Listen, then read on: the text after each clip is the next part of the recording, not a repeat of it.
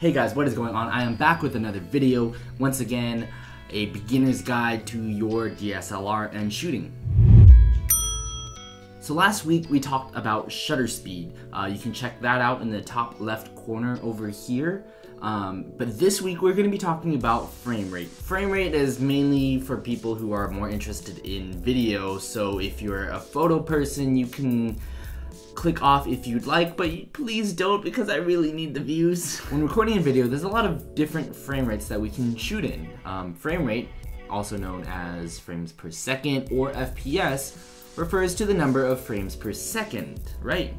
Makes sense, the rate at which a frame occurs within one second. If you are a gamer, then you should know a little bit about FPS, you know, 24 frames a second, 30 frames a second, 60 frames a second. But if you're a PC gamer, you should know 60 frames a second because that's what every PC gamer always loves to brag about, including myself. anyway, it's basically the number of frames taken in one second. Imagine you're taking like a bunch of pictures and then that's the number that you take in one second. There's two different types of frame rates. Mainly there's progressive and then there's interlaced. Uh, most things nowadays are going to be progressive, hence why you see things like 1080p, 720p, you know, all that stuff. The P actually stands for progressive, whereas it used to be 1080i, which was 1080 interlaced. To give a really like basic version of it, progressive is basically if you take a picture, you have that one picture, that's one frame, right?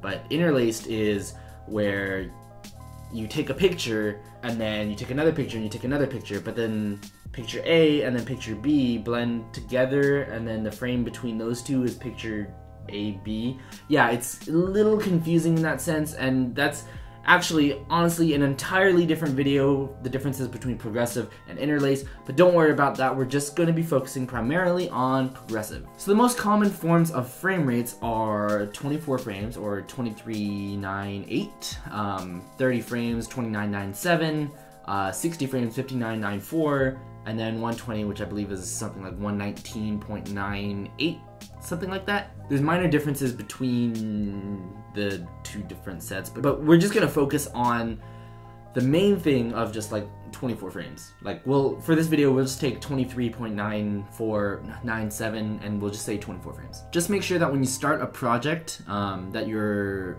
intended frame rate that you're shooting with is also your intended frame rate that you are editing your video with. So if you're shooting um, 24 frames, make sure that your project file is 24 frames. And for these different frame rates, just imagine it's taking 24 pictures within one second, 30 pictures within one second, 60 pictures within one second, or 120 pictures within one second. There is also 25 and 50 frames if you live in, for example, the UK, but we're just gonna be focusing on the US and Canada here, guys. So now imagine you're taking videos. Uh, you've got 24 pictures in one second, so 24 frames per second, versus 120 pictures in one second, 120 FPS. The higher frame rate means you'll be able to capture images and motion more clearly than if you had the lower frame rate, but it takes up more space on your SD card compared to the lower frame rate. However, as discussed in the previous video, frame rate and shutter speed go hand in hand. If you have a higher frame rate, you're gonna have to compensate by setting the shutter speed twice as high in order to create an effective regular normal motion blur. But the higher shutter speed and higher frame rate mean that the image that you're gonna get is gonna be darker. So you're gonna need more lights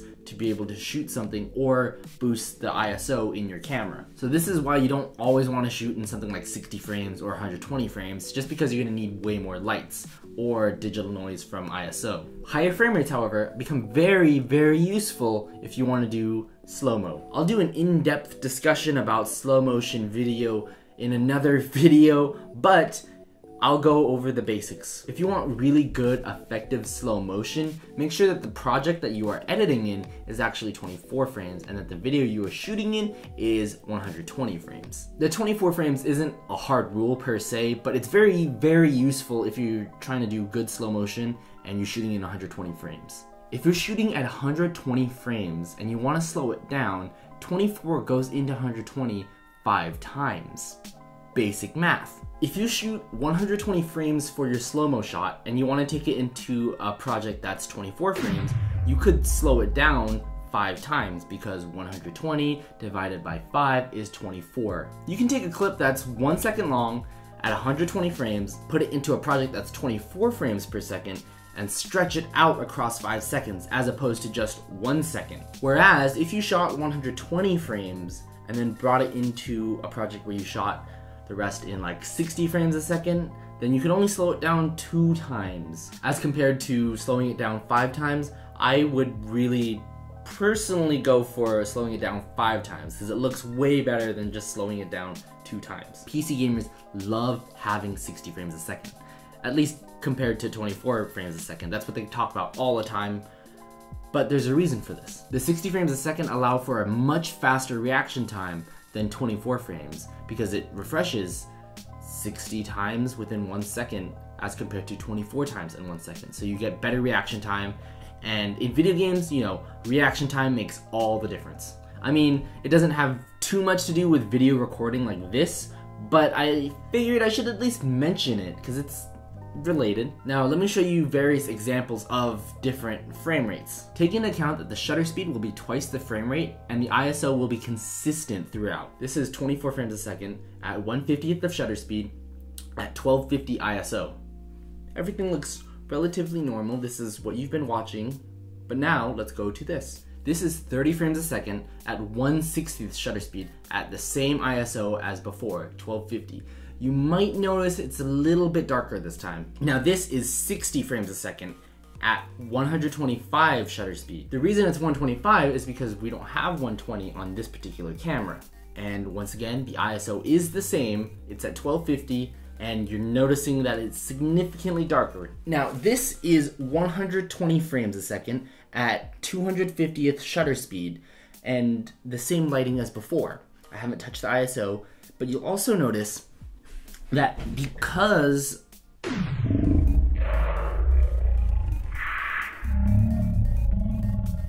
I'm shooting in slow-mo, everything's really cropped in. I haven't touched the lens. So when you shoot on slow-mo, some cameras actually have to crop in in order to compensate. So that's why this frame is tighter. So you're gonna have to like back up a little bit in order to effectively get the shot that you want. Now that everything's back to normal, let me explain why you should choose this particular frame rate. 24 frames are what a lot of movies are kind of shot with. Um, 30 frames works just as well, but um, I tend to shoot 24 frames because I have that option of if I ever shoot slow-mo, I can bring it in and slow it down five times. 60 frames works really well for if you are gaming or if you are using like a GoPro and recording sports because you get all that action just so smooth. You kind of see everything that's going on and there's not that much motion blur. And if you want to do slow-mo, just do 120 frames or 250 frames depending on what your camera is able to do. There's also so much history regarding frame rates like back in the day when cameras were first created and then motion pictures started coming, but that's all stuff for another day, another video.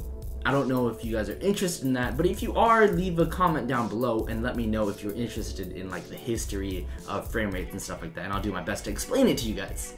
Anyway, that's it for frame rate. The next video I'm planning on doing is actually aperture and how that affects your photos and videos backgrounds, bokeh, all that sort of stuff. Um, so stay tuned for that. Like the video. If you like the video, leave a comment down below. Um, if you have a question, you know, if you like the video, just say, hey, you know what, I like the video. You should keep doing more of this. Um, subscribe if you're not already subscribed, and I will catch you guys in the next video.